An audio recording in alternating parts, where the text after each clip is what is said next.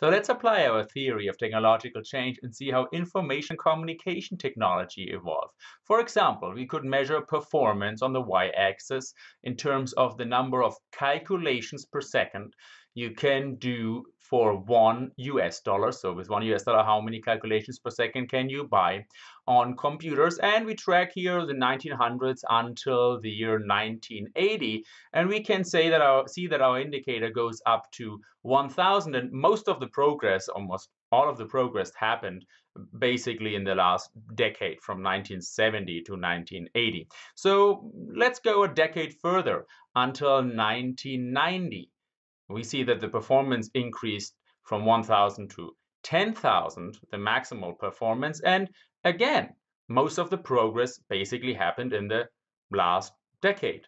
So let's go a decade further until the year 2000. Now we can see that our maximal performance increased until 1 million. And again, most of the progress happened in the last decade. It seems like always all the progress just happens in the last decade. Well, that's one of the signatures of exponential growth. If we take the logarithm on the y-axis, we can see here that there are very large steps between each one of the horizontal lines. So this is the logarithm of base 10. We have here our 1,000, 10,000, 1 million, and there's a very straight line uh, during the decades of 1980, 1990, 2000. So computational power has increased an exponential rate. Actually, since the 1900s, it's an impressively straight line that we can detect here. The driver of this impressive progress since the 1960s has been Moore's law, actually.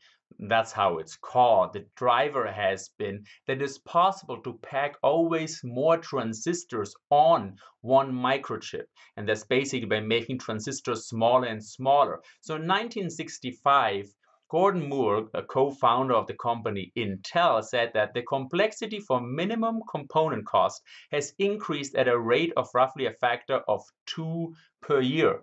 Basically, he said every year computational power doubles with regard to its cost. Now, there are many versions of Moore's law out there. Say it doubles every year, every year and a half, every two years, every three years. In the big picture, it doesn't really matter what are the details fact of the matter is that computational power doubles, and this doubling leads to this exponential progress that you can see here over different processors there Pentium 2, Pentium 3, Pentium 4 and so forth and it's still ongoing. Now many people say Moore's law will come to an end because this is actually an example of what? Disruptive or continuous innovation it's a perfect example of continuous innovation because we just talk about transistors and we always make them smaller and smaller and smaller and we coming to the end of the possibility to exploit this technological space because transistors are getting so small that they get to the size of atoms. And beneath the level of atoms there are some very weird quantum effects so we cannot really use those to compute. They are notoriously random. So uh, there are other ways we can still increase computational power, we can just have more chips. We don't make them smaller or we make them three-dimensional or a disruptive innovation will come along. For example, a quantum computer or biological computers or a laser or some kind of other innovation. So, but for now, this continuous stream of innovation through making things smaller has to come to an end eventually. So let's have a visual look on how far Moore's law has gotten us. Uh, as I said, the year 1970, 2, 3 is usually seen as the beginning of the digital age with the invention of the microprocessor. This is the one of the first popular computers, the Xerox Palo Alto Research Center computer, and this was one of the first video games called Pong. And as you can see, uh, it was a little entertaining. You could sometimes even score, but still very primitive. Then 10 years later, Windows came along, the first operating system. That was a huge advancement. So before that, also when I learned to use computers at the beginning, you basically only had code. So with this code, you were writing things like from this point of the line, copy the content until this point of the line and then paste it into line number this on the position that uh, with Windows you had windows suddenly. Um, the mouse became much more functional and it set the standard of what we nowadays understand as an operating system. Also, the first video games came along, Pac-Man, Mario Brothers, and so forth. Then 10 years later, multimedia started to set in with games like SimCity, which is still around, and the first role-playing games, Monkey Island was a big hit, and Lara Croft, the Tomb Raider, came along as well. She still looked a little bit skinny, which changed 15 years later, she looked much better. And by 2009, also the TV industry had started to enter the digital age with movies like The Matrix and Avatar. And for example, video games producer took advantage of digital interactivity with games like Wii, where you were recording your movement. And then by 2014, video games producers spent 200, 300 million dollars employing 1,000 people to produce video games, and these video games earned a billion dollars, a thousand million dollars during the first one, two, three days after their launch. So a lot of progress has been done since the uh, early 70s. So if we look now at our theory of doubling, let's see what that means. That means that in 1970, at the beginning of 1970s, uh, let's say we started with, with one, and since then we doubled.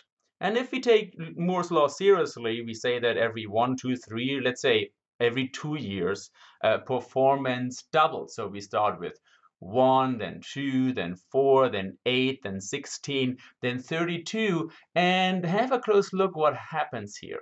So actually what happens is that at each step, all the progress that, progress that has been done since the beginning is added on again. This means that Moore's law implies that every time you double, you make as much progress as you have done since the beginning of time. So that means during the next doubling rate, during the next two or three years, we may make as much progress as we have done since the early 70s. In other words, if back here you would have been able to predict this kind of world, then you should be more or less able to predict what will happen in the next two or three years because that's the amount of computational power that is added to it. So doubling means that at each step you grow as much as you have grown from the beginning. That is a very important observation to wrap your mind around, and even the most visionary industry leader and government authorities often have problems with really understanding and appreciating the brutal power of exponential growth. So I say it again.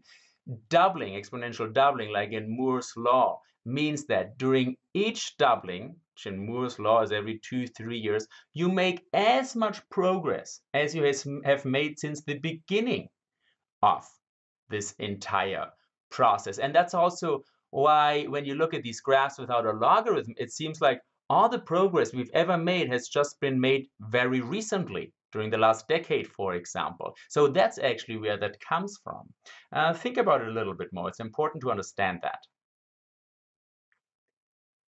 So Moore's law basically has to do with computation, since it basically says you can pack more transistors on one microprocessor. So you can make microprocessors smaller and smaller and, and, and smaller. And we say that ICT, information communication technology, also includes communication and storage technologies. Now, they have different drivers, but they're also mainly driven by a logic of Moore's law and by Moore's law as well, since they interact with computational devices, which make them more efficient.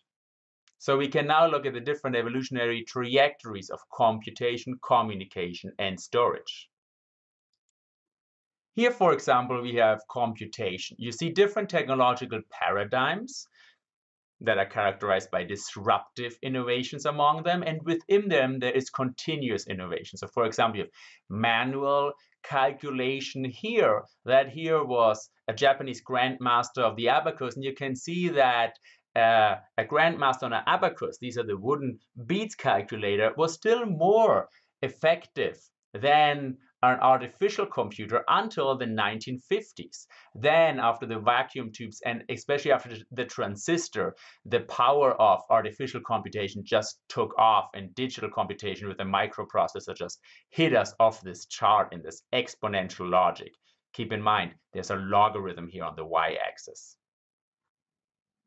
We can look at a similar logic for communication. So here we have traditional postal communication, a mailman, uh, which was the traditional way of, of tele distance communicating. Then we have here the telegraph. We can here see the telephone, the fax machine, radio broadcasting, and again, digital communication basically kicked us off the chart. So here again, you can appreciate different technological paradigms characterized by disruptive innovation and continuous innovation on the basis of one same technological space, for example, radio and television, also became better over the decades. And something very similar applies to storage technology. So you have here different storage technology, hard disks, and RAM technology. And you can really see a very smooth evolution. I show you these graphs to let you know that you can study the evolution of technology in a way that is very similar to how biologists study the evolution of species. And you can see and detect very smooth technological trajectories. And once you understand them, that also helps you to guide your business strategy, for example, you don't want to be surprised by uh, a, a, new turn in a technological trajectory. And also for governments, it's very important to understand how technology evolves.